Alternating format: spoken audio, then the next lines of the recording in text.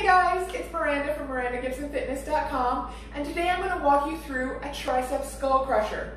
We're going to be down on the ground for this movement. I've got a set of light dumbbells. I've got a set of fives here with me. So I'm going to lay down, plant my shoulders into the ground as I grab my weights.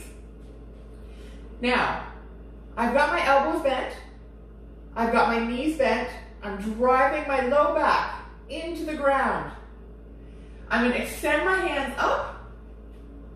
And from here, I'm going to hinge at my elbow joint, bringing the dumbbell right beside my ears before I press back up and squeeze.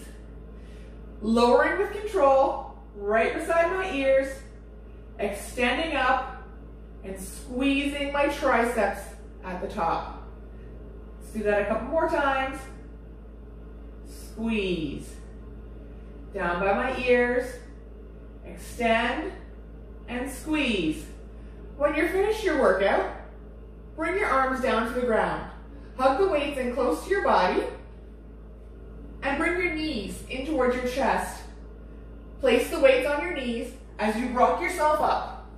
Place your weights on the ground, and move on to your next exercise. For more information on workouts, check out my Instagram page, Miranda Gibson Fitness.